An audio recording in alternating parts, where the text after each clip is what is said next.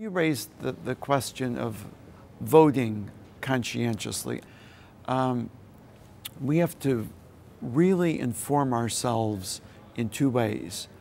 First of all, what does our church teach? And it's not just a position of blind faith, as Benedict said, but it is uh, our positions are reason informed by faith. Mm-hmm. And so I think we should be proud of that.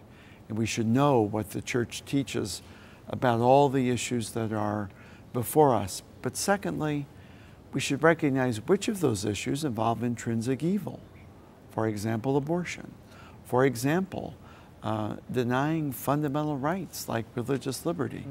Um, and we should vote for no candidate uh, that uh, promotes, as part of the platform or as part of his own or her own positions, intrinsic evils, even if that means not voting.